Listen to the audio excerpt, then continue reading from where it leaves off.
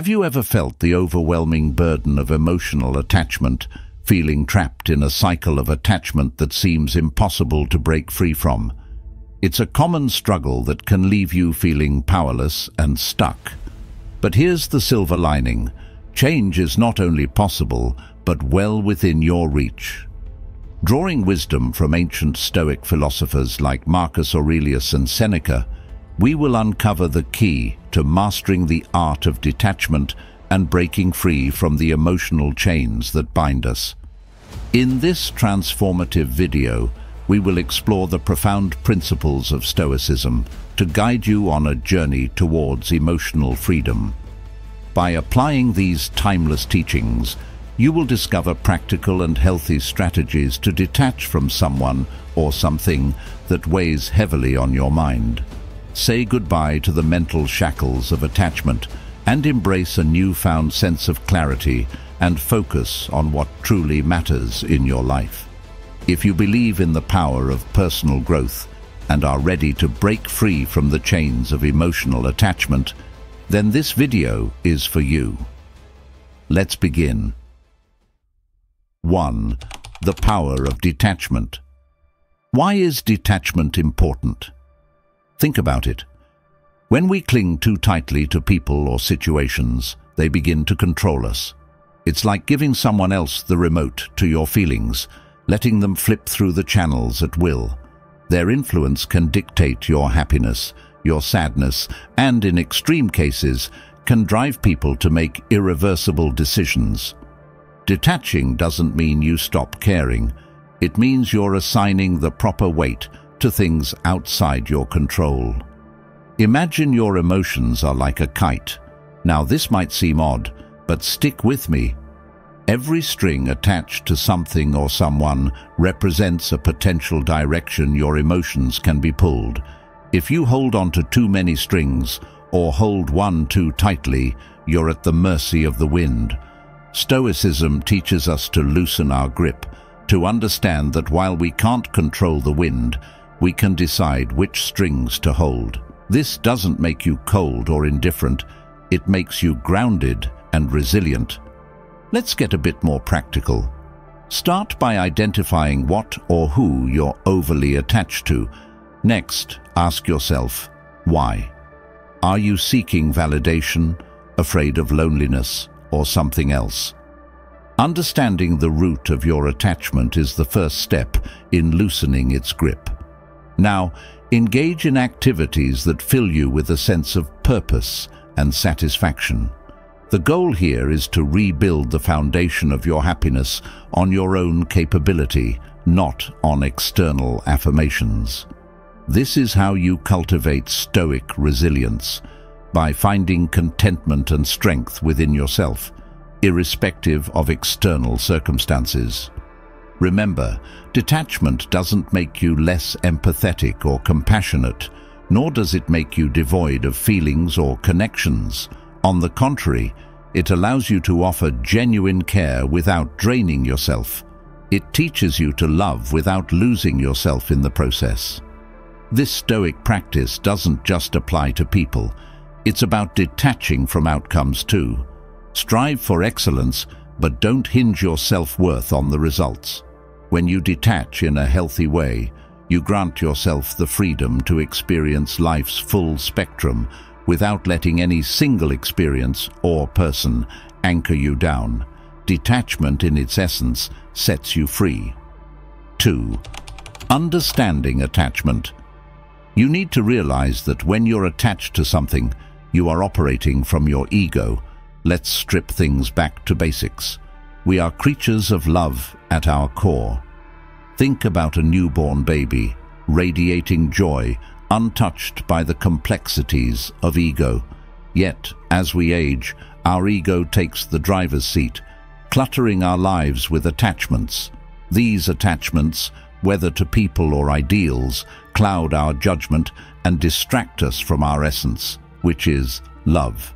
Remember this, attachment is the game of the ego, the very antithesis of love and self-contentment. If we step back and view our desires and connections through this lens, we begin to see the unnecessary weight they add to our lives.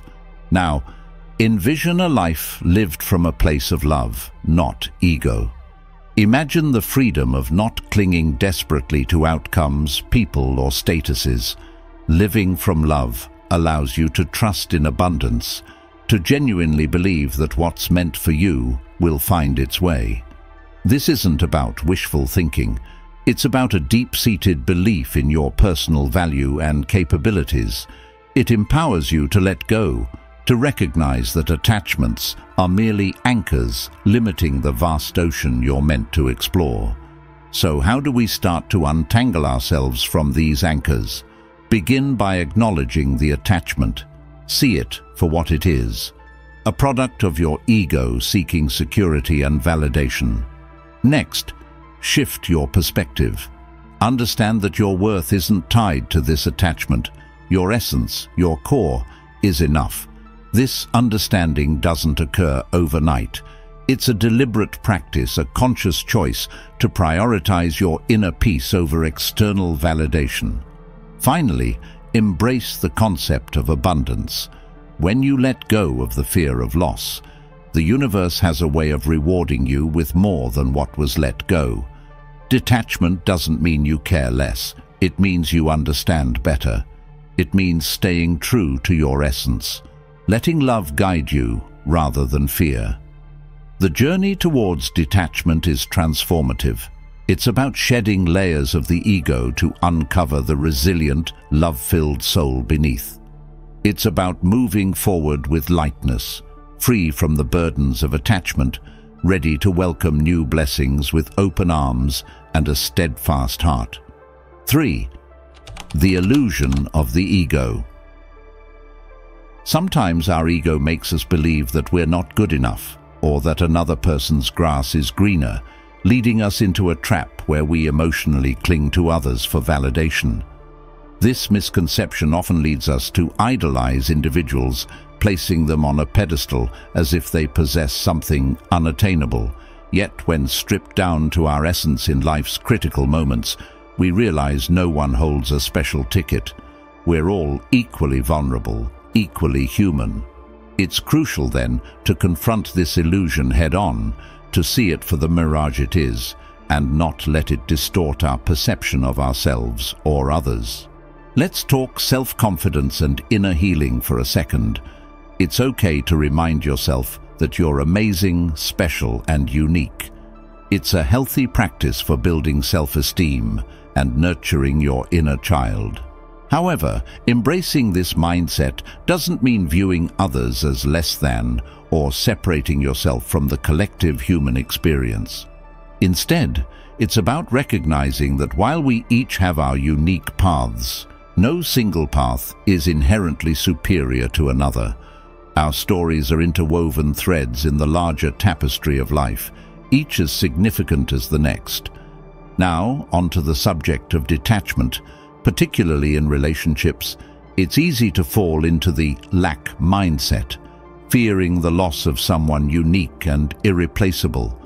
This thought pattern is a direct offspring of our ego, whispering lies of scarcity and limitation.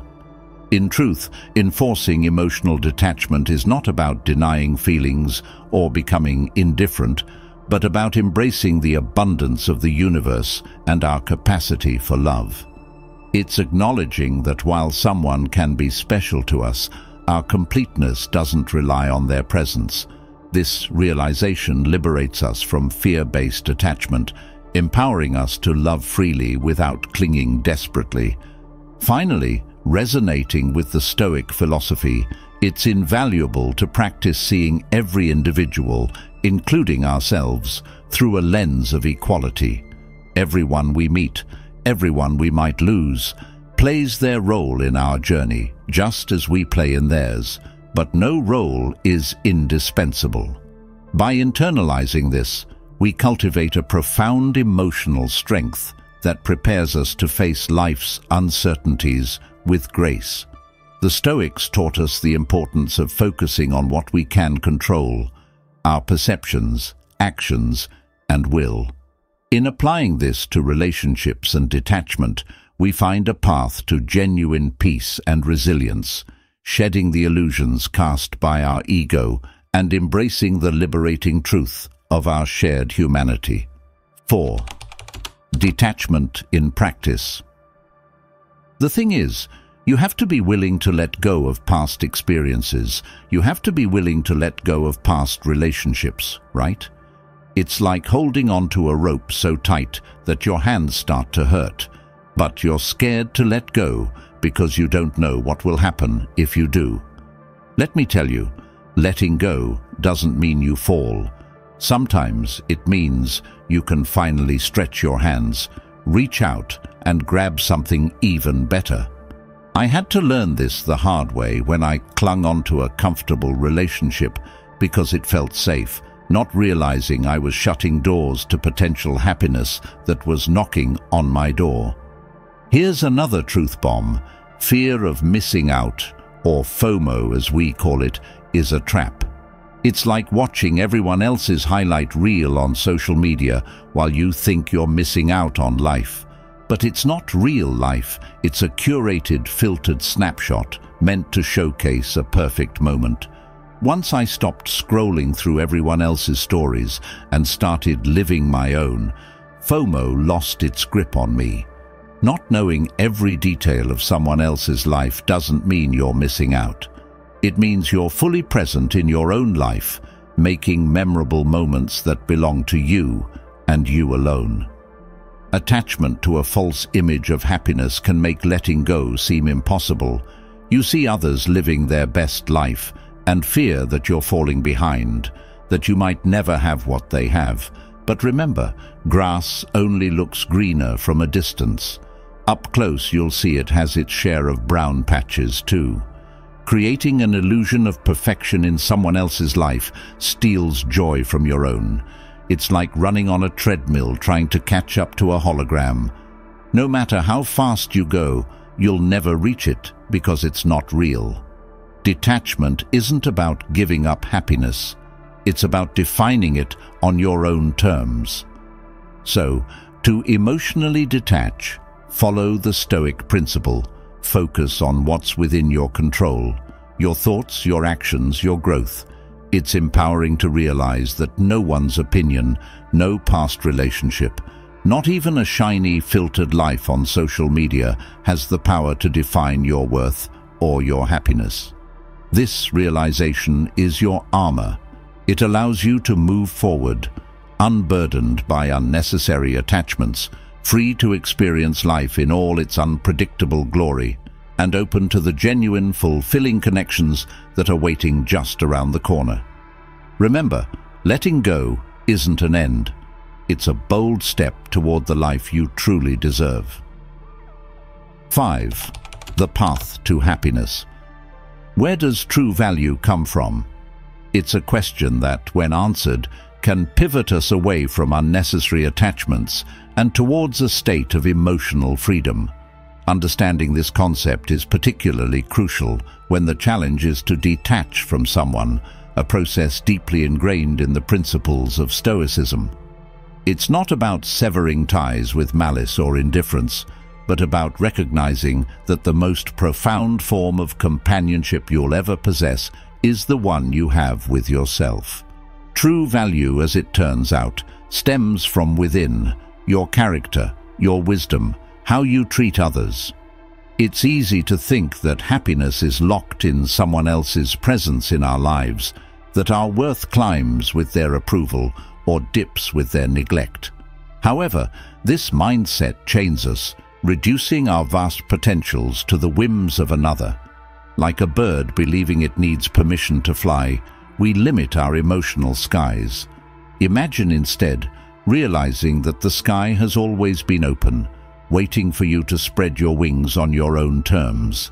This self-reliance is liberating, teaching us that our value does not fluctuate with others' opinions or presence. Detachment, therefore, isn't an act of pushing someone away, but drawing ourselves closer to our essence.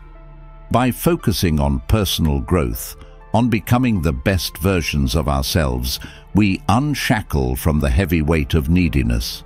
It's akin to nurturing a garden. You wouldn't plead for a single flower to grow. You tend to the soil, water the plants, and trust in the natural process. In focusing on self-improvement, we cultivate a garden that blooms regardless of who chooses to walk through it or admire its beauty. This nurturing becomes a source of happiness that's independent, resilient, and profoundly rewarding. So how do we tread this path of emotional detachment? It starts with the understanding that you are complete, with or without someone's affirmation. Your journey is about discovering the expanses of your own sky, learning to love, the freedom that comes from flying solo when necessary. Embrace Stoicism's wisdom. Focus on what's within your control, your thoughts, your actions, your growth. This doesn't mean closing your heart or turning a blind eye to love and connection. It means securing your emotional anchor in the steady ground of your being. Remember, your self-worth isn't a puzzle missing someone else's piece. It's a masterpiece in progress, complete as is, yet open to adding more beauty from the world around it. All right, thank you for tuning in, and I hope this brought some insights into your day. If this resonated with you or sparked a thought, hit that like button, and if not, that's okay too. Your perspective is always valued here, and for those eager to dive deeper into the journey of personal growth, we've got a special bonus for you, an exclusive free gift exploring three Stoic rules for a fulfilling life. Check out the link in the description to claim yours. Finally, do you have thoughts on emotional detachment or insights from your own experiences? We'd love to hear from you in the comments. Plus, if you know someone who could benefit from today's topic, feel free to share this video with them. Until next time, let's spread the wisdom and support each other.